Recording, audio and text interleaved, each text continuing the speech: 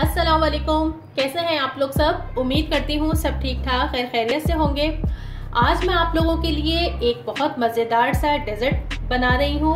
Chocolate desert है ये और 10 से 15 मिनट लगेंगे इसको बनने में। तो आइए इसे बनाना शुरू करते हैं। यहाँ पे सबसे पहले मैंने दो या तकरीबन ढाई कप के करीब जो है दूध ले लिया था और उसे बॉईल करके ठंडा कर लिया, यानी कि रूम टेम्परेचर पे कर लिया।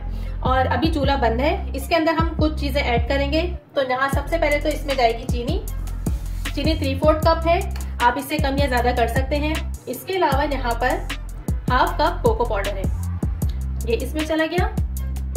दो खाने के चम्मच, ये मैदा है, भर के। ये मैदा इसमें चला गया। अब यहाँ पर हमें इन तीनों चीज़ों को बहुत अच्छे तरीके से मिक्स करना है आपस में। जो ये लम्स हैं, ये लम्स ना बने, ये खत्म हो जाएँगे। अभी मैंने चूल्हा ऑन नहीं किया है। और बहुत मज़े का मीठा बनता है और सबसे बड़ी बात है कि जल्दी बन जाता है। बच्चों को तो बहुत ही ज़बरदस्त लगेगा, पसंद आने वाला है। आप उन्हें बना के ये इस तरह से दीजिए। चलिए, मैं अब चूल्हा जो है ऑन कर रही हूँ और ये उसी में जो है, इसे मुसलसल जो है चलाते रहना है, इसे छोड़ना नहीं है।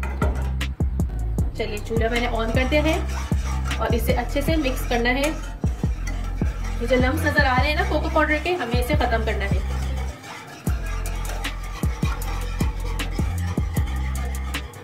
और अगर आपने अभी तक चैनल को सब्सक्राइब नहीं किया है तो प्लीज़ मेरे चैनल को सब्सक्राइब कर लीजिए। वीडियोस पसंद आए तो थम्स अप दीजिए और कमेंट करके ज़रूर बताया कीजिए कि आपको रेसिपीज़ कैसी लगती हैं। इसके अलावा फैमिली एंड फ्रेंड्स में भी शेयर किया कीजिए। थैंक यू बस हमें इसे गाढ़ा करना है। इसी तरह चलाते रहना है और इसे गाढ़ा करना है। बहुत ज़्यादा भी नहीं, मैं आपको दिखाती हूँ। ये देखिए, मुझे तकरीबन तीन से चार मिनट लगे हैं और ये अच्छी तरह से, ये देखिए कितनी अच्छी थिक सी हो गई है। अच्छा इस स्टेज पे अब मैं इसमें ऐड करूँगी वेनेला एसेंस वेनेला एसेंस में इसमें वन टीस्पून ऐड कर रही हूँ.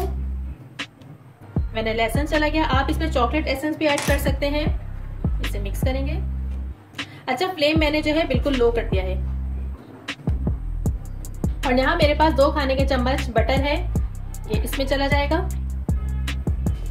और बस इसे जो है बटर को जो है मेल्ट करना है और उसके बाद हम चूल्हा बंद कर देंगे.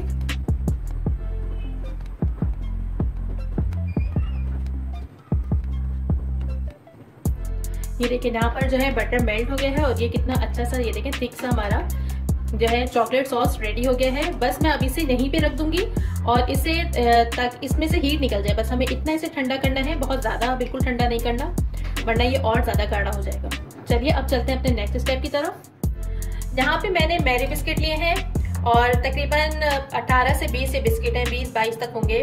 आ, दो हाफ़ रोल हैं ये मैरी बिस्किट के। आपके पास मैरी मैरी बिस्किट ना हो आप डाइजेस्टिव बिस्किट बिस्किट दे लीजिए इसके अलावा थोड़ा सा दूध है और ये मेरे पास जो है बॉल है। अब इसके अंदर एक बिस्किट लेके दूध में इस तरह से डिप करके। बस बहुत ज़्यादा डिप नहीं करना। यहाँ पे इसकी लेयर लगानी है। बहुत आसान सा ये मीठा है बहुत मज़े का मीठा है। ये बच्चों को बहुत पसंद आने वाला है बल्कि बड़े भी इसको बहुत शौक से खाएँगे। तो इसलिए आप इसको ज़रूर बनाइएगा। ट्राई ज़रूर कीजिएगा इसको एक दफ़ा। अक्सर ऐसा होता है कि मेहमान आ जाते हैं, कुछ समझ नहीं आ रहा होता कि यार क्या बनाए। अचानक से बिल्कुल। तो अब आपने फटाफट जो है ये वाला मीठा बना देना है। और जो बच्चे आएँगे, मेहमान, उनके तो मज़े आ जाएँगे। ये देखिए इससे तोड़ के जो है ना, ये जो खाने खाली हैं। क्योंकि चॉकलेट तो सभी को पसंद होती है खसूस बच्चों को तो बहुत पसंद होती है। बस इसी तरह से मैं लेयर लगा लूँगी ये एक बिस्किट्स की। ये देखिए इस तरह से। और यहाँ पर हमें अपने चॉकलेट सॉस की लेयर लगानी है।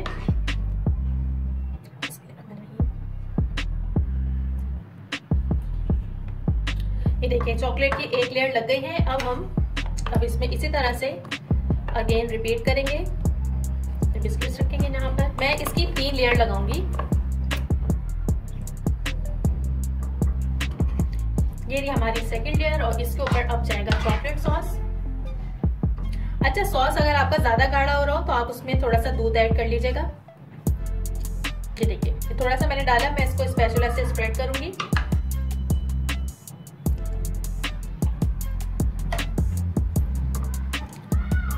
इस तरह से।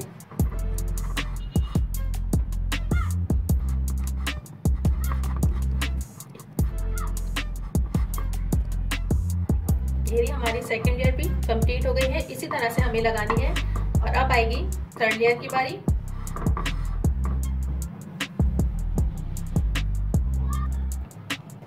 और अब ये हमारी फाइनल लेयर है थर्ड लेयर है।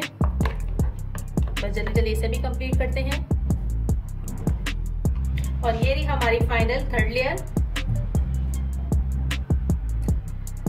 ये देखिए, सॉस जो हमारा कितना गाढ़ा हो रहा है। मतलब जितनी देर इसको होगी, उतना ही गाढ़ा होता चला जाएगा। इसलिए आपने जल्दी जल्दी जो है काम करना है।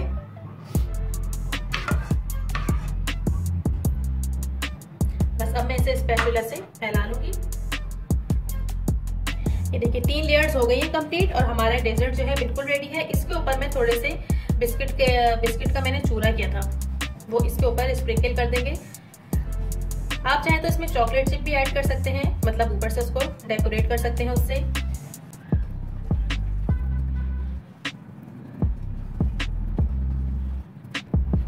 ये देखिए, जहाँ पे तैयार हो गया है, अब मैं इसको फ्रिज में रख दूँगी तकरीबन तीन से चार घंटे तक। उसके बाद ये अच्छा सा ठंडा हो जाएगा, फिर इसे सर्व करेंगे। और यहाँ पर हमारे डेजर्ट को रखे हुए तकरीबन चार से पाँच घंटे हो गए हैं। बहुत अच्छा से ठंडा हो चुका है। और ये वैसे तो रेडी हो चुका है, आप इसे सर्व कर सकते हैं, लेकिन मैं इसके ऊपर थोड़ी सी ग्रेट की भी चॉकलेट ऐड कर रही हूँ।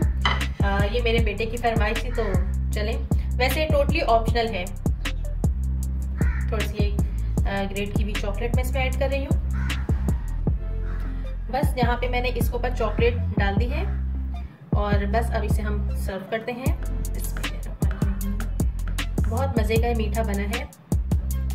क्योंकि मैं इसे बहुत दफ़ा ट्राई कर चुकी हूँ, बना चुकी हूँ। इसलिए आप लोग भी इसे ज़रूर ट्राई कीजिएगा और मुझे अपना फीडबैक दीजिएगा कि आपको रेसिपी कैसी लगी।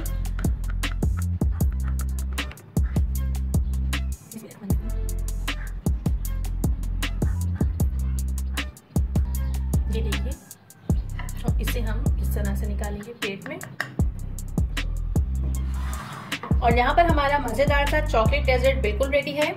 आप इस रेसिपी को ज़रूर ट्राई कीजिएगा। चलिए चलती हूँ, दो में याद रखिएगा। फिर आऊँगी एक नई रेसिपी के साथ। खुदा हाफिज़।